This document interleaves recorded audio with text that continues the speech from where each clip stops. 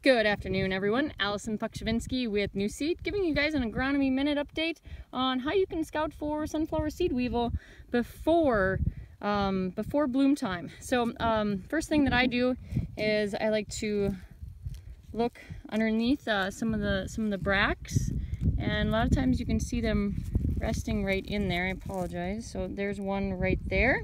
They're red and they also have a little snout on them.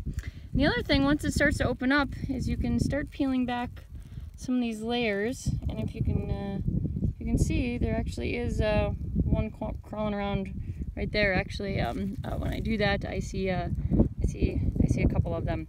So uh, make sure to check your crop prices and um, uh, thresholds for your own field and the market that you're going into to see if uh, this might be an insect that you would need to spray for.